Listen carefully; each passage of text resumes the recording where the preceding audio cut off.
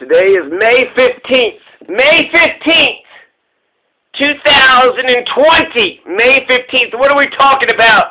Let's just a couple things. CNN has to vote on $3 trillion COVID aid package and historic rules change to allow remote voting.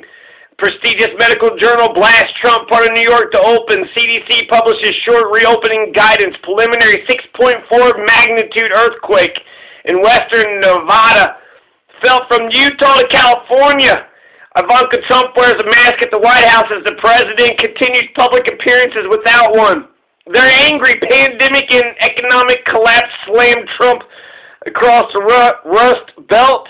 House Speaker Pelosi holds weekly news conference. So yeah, Ana Navarro returns. Meghan McCain out again. Fans react. Former White House physician Ronny Jackson dives headfirst into Obamagate. Angers former colleagues. Cooper claps back at Trump Jr. Jr. over Thunberg drama. Biden pledges not to pardon Trump. Five police officers, seven detention center employees in Texas are in quarantine after arrest of a suspect with coronavirus. Kentucky AG asked to serve as special prosecutor in the Breonna Taylor case. I believe he's a black man, the Kentucky Attorney General. Mitch McConnell says he was wrong to say Obama left behind no pandemic plan. Ha! Mitch McConnell's wrong. So that just gives you an idea. It's 9.01 a.m., May 15th, 2020. I just want to talk about some of the historical events that have happened in the past. If you don't know your roots, what kind of tree is going to grow without good, solid roots? You got to have strong roots. You got to have strong wings. You got to have a strong idea of the past and the future. And also, you got to, you know, work on being in the present moment, too. So a lot of things happened actually on May 15th, 1905. Abraham Zapruder was born in Ukraine. 1972, George Wallace is going to be shot and paralyzed by Arthur Bremer. 1972, Winnipeg general strike begins. This is 1919. They were dealing with the pandemic during then, the Spanish flu. And that's the Red Scare. 1919 was a terrible year for everybody, including America. So the Winnipeg General Strike begins May 15th, 1919. George Wallace shot May 15th, 1972. California becomes the second state in America to legalize gay marriage. This is 12 years ago. So this is a relatively brand new phenomenon. California was the second state. Supreme Court said that one of their things, they overturned it, and then within a month they're issuing gay marriage licenses. 1940, the first McDonald's from the actual McDonald's brothers, not that Ray Kroc crook, but the actual honest, decent, good, hardworking McDonald brothers. They opened up their first McDonald's 1940, May 15th.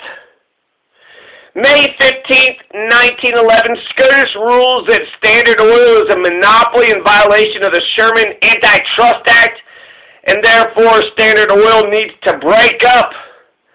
So trust busters, breaking up those big ass monopolies. It's all based on a SCOTUS ruling. 1618, Johann Kepler confirms the third law of planetary motion.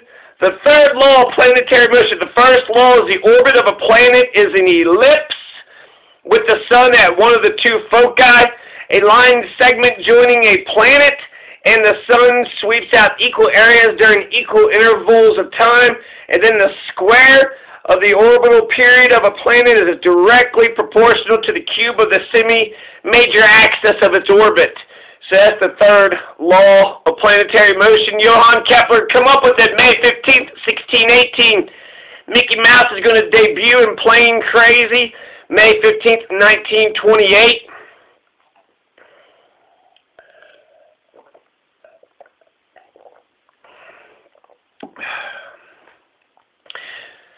1718, James Puckle patents the first machine gun. 1915, Paul Samuelson, the economist, is born. 1936, Ralph Steadman is born in Lithuania, Constituent Assembly Day, Republic Day. For the country of Lithuania, they actually have a holiday today where they celebrate the Constituent Assembly Day. And last but not least, going to have a major deposing. Emperor Valentinian, uh, the second Emperor Valentinian the second. He ruled for 17 years. He's an emperor of the Roman Empire for 17 years. They're going to find him hung in his own home in Vienne, Gaul, by Arbogast, a Frankish king. Uh, a couple other things, 1960, 1958, Sputnik 3 and 4. Abraham Lincoln creates the United States Department of Agriculture, 1862.